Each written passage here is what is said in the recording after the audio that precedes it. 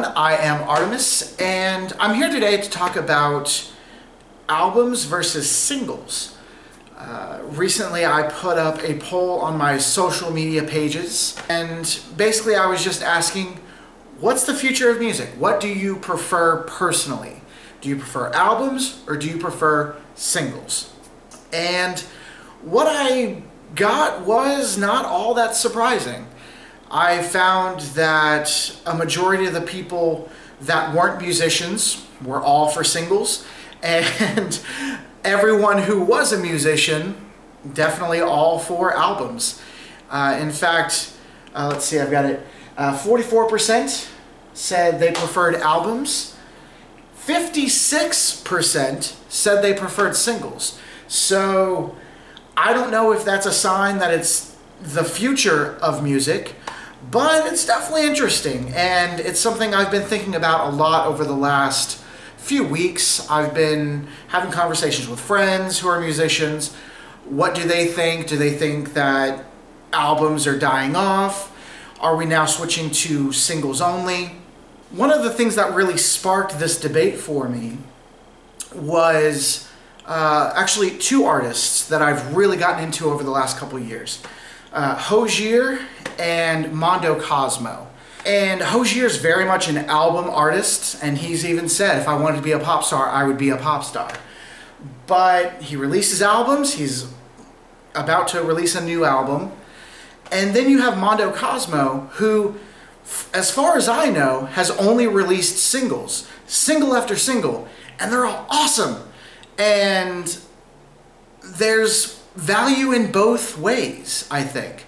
And it's definitely interesting. I've kept up with both. I'm current on both. I'm fans of both. But their approaches are different, and I think that's kind of neat. I don't see why we can't do that. So there's a few reasons I think that singles are the future. It's easier to keep someone's attention for one song. I'm still I haven't released an album yet, but I have released a lot of singles, and I have noticed that when I release the single, I get a lot of feedback. I get a lot of views, a lot of listens, and in general, I'm able to keep people's attention a lot easier because I'm just promoting a single song at a time. Versus an album where I'm asking them for an hour of their time, listen to these 13 songs, and let me know what you think. What's funny is that music actually started as singles. That's what it was all about. Get your hit single, get it on the radio, people will buy the single, you're a famous rock star now.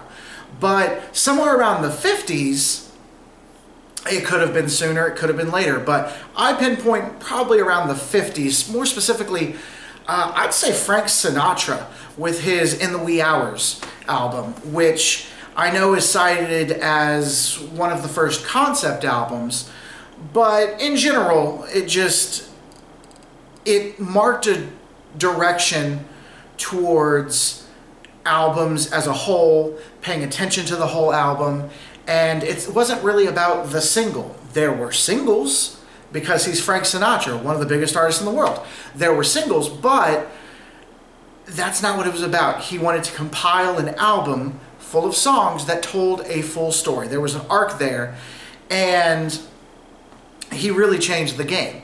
Then you had Beach Boys, then you had the Beatles, obviously with Pet Sounds, Sgt. Pepper, and even before Sgt. Pepper, you had the Beatles that, you know, with Revolver, Rubber Soul, they were really more focused on putting you in a space for 30, 45 minutes, an hour, and really creating a vibe for you. But why can't singles also do that? Why can't a single be more like a television show versus an album, which is like a movie. I mean, you've got Breaking Bad, you've got 13 episodes. Each episode contributes to the overall arc of the story. You don't forget about the previous episode, why would you forget about the previous song? Why can't we put out a single once a week, once a month, whatever, and then release the album as more of a collection of the singles in a physical format? That's the series. You buy your DVDs, you buy a CD, there you go. Why can't it be like that? Um, that's not necessarily where I want to go with my music, but it's an interesting thought. Uh, I'm, of course, of the album generation. I'm from progressive rock. Obviously, I'm doing pop music now, more pop, indie rock. But deep down, I'll always be a progressive rock guy. And progressive rock is all about the albums. So, I don't know. It could it could go either way, and I think that there's no right or wrong answer here. Um, I think that an album is great. It's how you tell your story, but how can artists evolve with the attention span of their audience that they may or may not even have yet? I think that it's important that we be flexible in finding our audience and working around their schedule. Spotify is where they find us now. iTunes is where they find us. Apple Music. They're finding us on YouTube. I mean, it's you can't expect to release an album and then have everyone listen to every single song. But you can make them listen to every single song if you show it to them one at a time.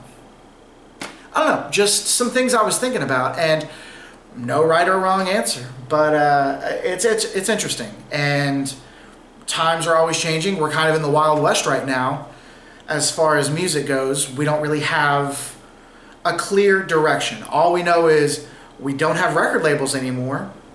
There are some independent radio stations, but we don't have that either. So, I don't know. I just think we be flexible a little bit, see what our audience wants and try to accommodate that. And once you have an audience, then you can start releasing albums. I think that's what I'm going to do. I'm not for sure if that's what I'm going to do, but it's an option. I can release singles once I have an audience that are interested, that are paying attention, that know I'm releasing an album, then I can release an album. Um, again, I'm still pretty torn on it, but who knows? Music videos could come back. We don't know. It can go either way. But let me know what you think, and you know, let me know in the comments what your thoughts are. I'd love to hear it. Let's let's have this debate. So make sure to like and subscribe right there. And I'm not sure if I'll be doing more videos like this. I don't know, kind of like it. A little fun. Uh, just talking directly to a camera. As a drummer, nobody listens to me. So it's kind of nice to make some eye contact right there. Uh, yeah, awesome. Hooray. Uh, thank you for watching, and I'll see you soon.